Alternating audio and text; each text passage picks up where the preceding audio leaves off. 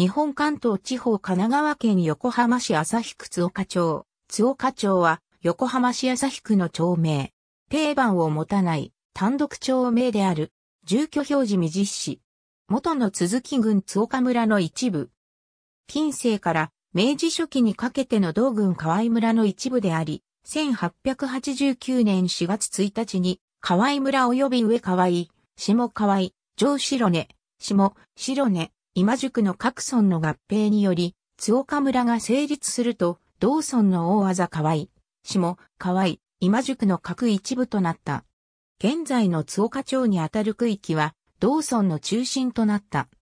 新村名の津岡は、当初村名を鈴木村とする予定であったところ、現在の川和町となる一帯も鈴木村とする用意をしていたため、当地が津岡村、現川和町周辺が都田村とすることで決着したことによるものである。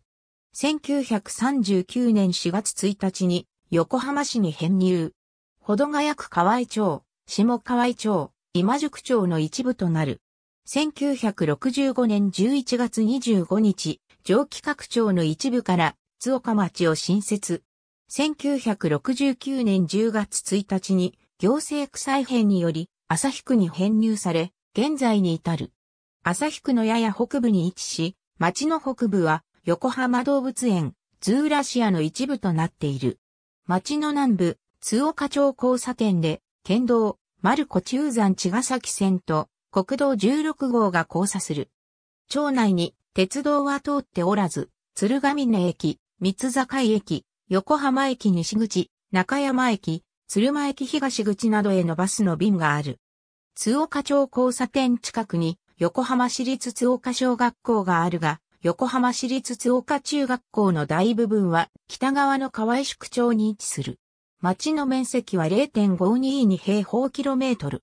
住宅地の地価は2014年1月1日の工事地価によれば、津岡町65番34の地点で14万8000円平方メートルとなっている。